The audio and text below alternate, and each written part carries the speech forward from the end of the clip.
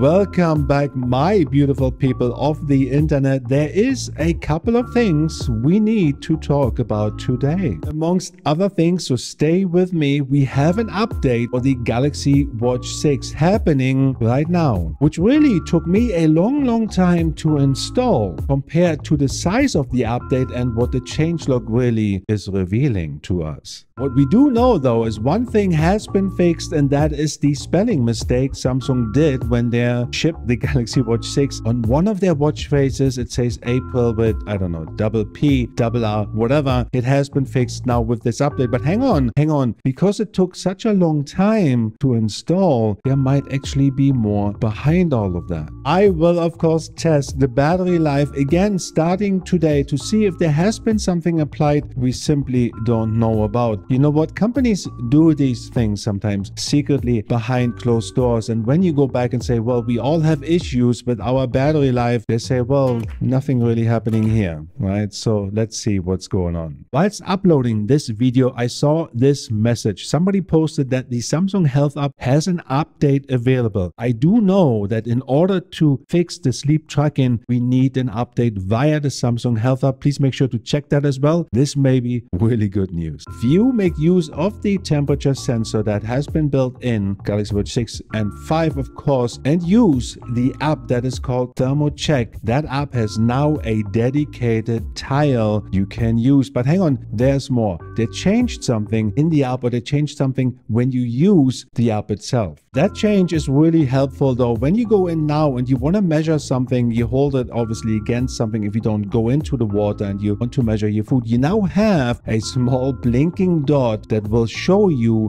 where the temperature sensor is located. The temperature sensor itself obviously doesn't move, but every time you want to measure something, you can then see, okay, it's right here. I can hold it a bit differently and see what the temperature is like. There is another Wear OS app you can download in the Google Play Store for free that lets you create custom watch faces. I know it doesn't sound unique, but hear me out. It really is unique. And this app is not limited to the Galaxy Watch itself. All you need to have on your watch installed is Wear OS 2.5 or higher. The app itself comes with a starter package if you like. It has skins already, a few presets, custom text and shapes, you name it.